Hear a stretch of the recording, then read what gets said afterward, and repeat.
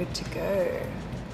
I get asked all the time how I manage to sort of fit everything in. Um, for example, this week's a bit of a podcast week and I need to record an intro for my interview with Kathryn Morgan, which I'm really excited to share with everyone. Um, that comes out tomorrow morning.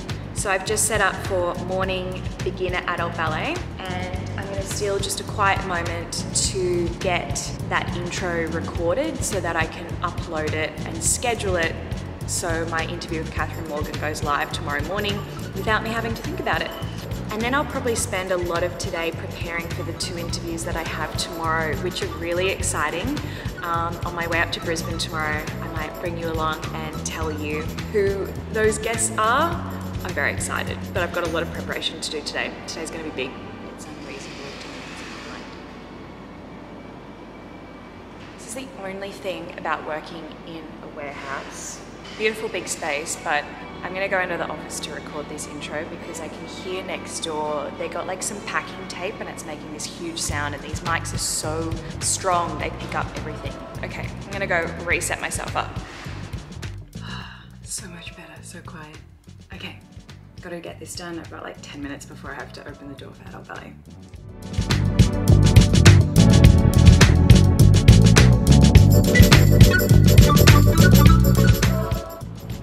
Finished that recording of the intro for the Kathryn Morgan episode, and I've just finished teaching adult ballet. So I'm just going to spend a little bit of time scheduling a few things that have to happen tomorrow to sort of successfully launch a new podcast episode, which is what I do um, fortnightly. So in order to reach a good amount of people and let Balance Ballerinas community know that there's a new podcast episode, I do a couple of things. I've just finished editing the episode for starters, and what I'll do is I'll upload that to the podcasting platform that shares the podcast to for example, Spotify and iTunes. Is iTunes even a thing anymore? Think it is. Apple Podcasts, especially because I've got such a busy day tomorrow with the two interviews that I'm going to be doing, which I'm still very excited about. Um, I want to make sure that everything goes off like clockwork. So I'm going to schedule the podcast to go out at 6 a.m. I'm going to schedule an Instagram post to go around 7 and 8 a.m. And then I've got my e newsletter, which will go out about 10 o'clock or midday, I think. Hmm changed my mind. I think I have to tell you who one of my guests is because I want to show you how I prepare for a podcast interview.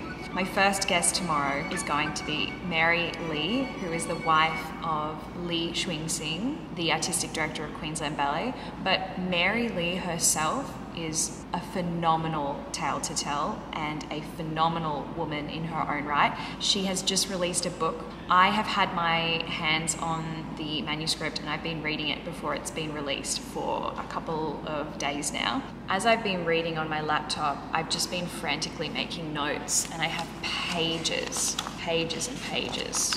I am going to have to call through now for a couple of hours and piece together a bit of a plan for the conversation and also make sure that I not only do Mary's story justice but also do my very small part, very small part in the launch of her what's going to be a massive book. So I've just got to Brisbane. Um, I am going to Queensland Ballet today, but I am also meeting up with my old coach, Paul Boyd, who had a marvelous career himself. He is also now a teacher um, and director at the Academy at Queensland Ballet. And I haven't seen him for maybe a year. And I finally got him to agree to come on the podcast. And I have so many questions for him because when I was a young dancer, I didn't really get to know him because it was all about me and my training. So I'm really looking forward to the conversation. I am actually a little bit early, a couple of hours, so I'm down the road from Queensland Ballet. Going to go grab a coffee from one of my favourite cafes forget what it's called. Oh, it's just called The Stores. So it's down the road and they've got like a health food market and um, a beautiful supermarket and coffee shop. I like hanging out here, so I'm gonna calm my nerves with some caffeine or I don't know, maybe that might make it worse. I like to bring my podcast guests a gift and I was sort of racking my brain about what to get Mary. So I thought, hmm, flowers, you can't go wrong. And then I was thinking, what do I get Mr. Boyd, and men are really hard to buy for. but I know that Mr. Boyd loves his wife more than anybody. So I thought I'd also get her a bunch of flowers because by making his wife happy, that would make him happy. So check out these flowers, they're absolutely beautiful. Aren't they gorgeous? Look at that, I love peonies.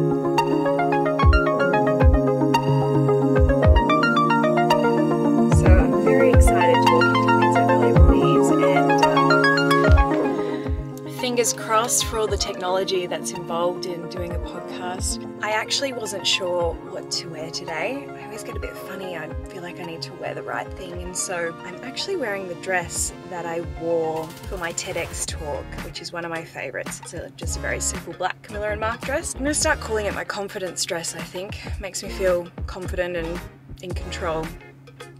Anyway, wish me luck.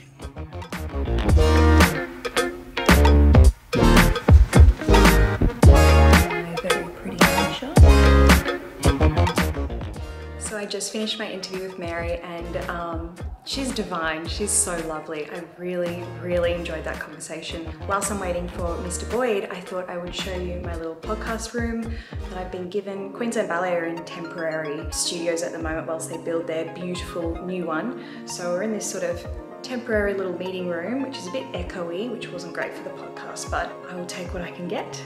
There's the flowers for Glenda. I already gave Mary hers. She loved them.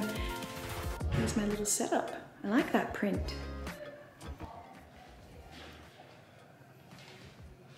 Oops, Mary left her music here and her glasses. I better go find her. So I've moved to a different room. They moved me because they thought the sound quality would be better in here. So I'm gonna do Mr. Boyd's interview in this room. So both the podcast interviews are done. It actually started heavily raining during Mr. Boyd's interview and I think that you might be able to hear it in the recording unfortunately. Um, but I will get back to the studio where I have to now go to teach this afternoon and um, check to see whether you can hear it. Hopefully you can't. But I think the interviews went really well. I was really happy with them. I got a little bit teary when I did Mr. Boyd's interview so just towards the end, I don't know, it just makes you think about things and, and how much I appreciate special people like him in my life. When the episode um, comes out, you'll have to have a listen and see what I mean. Uh, you had a huge jump, so that, that, that was just natural. When you just gone back to the studio and I'm just checking the audio for that rain, which was so heavy. Queensland Ballet staff had actually had to put buckets out in the corridor because the roof was leaking, which was crazy. That's how intense the rain was, but it's all good. The audio is still great and um, it mainly picked up our voices, so it's, it's all good. My conversation with Mr. Boyd was everything I wanted it to be. He honestly makes me want to be a wonderful teacher and just to continue inspiring my students and doing everything that I can for them. So it was a really special conversation and, and one that I'm going to hold dear to my heart for a really long time. I love that man, he's just so kind. He's the best. Anyway, it was a good day. It was a really good day. And Mary's just lovely. Maintain that beautiful posture. Let's go.